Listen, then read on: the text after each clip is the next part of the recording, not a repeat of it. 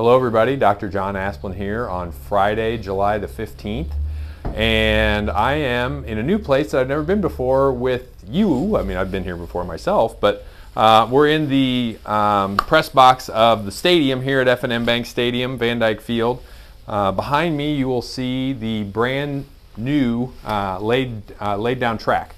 And it's beautiful. It's, it's really the nicest track I've ever seen. It's in school colors.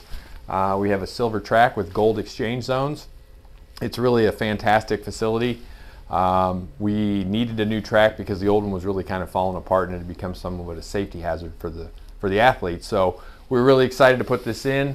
Uh, this track will be much more durable. It should last minimum of 20 years and as long as 50 years. So really, really excited about this track and, and really pleased to be able to, to show it to you uh, off over my right shoulder here. You also can see the addition to the high school. That's the 10-12 academic wing. Uh, of course, next year it'll be a 7-12 facility, but the addition part is actually just high school. So really excited to be able to show you that today as well. My message today is simple. I look back a year ago and I'm giving you the same message I gave a year ago.